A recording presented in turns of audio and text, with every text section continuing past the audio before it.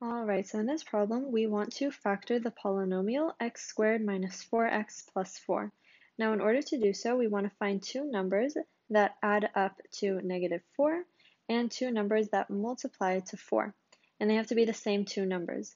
Now, if we want two numbers to add up to negative 4, that could be negative 2 and 2, and negative 2. And these two numbers, when you multiply them, they also multiply to a positive 4.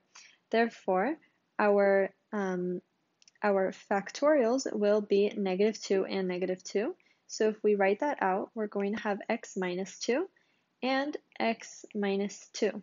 That's how we will factor this polynomial.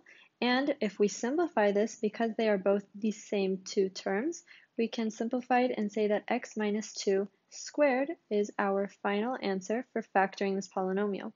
And that lines up exactly with answer C. So C will be our final answer.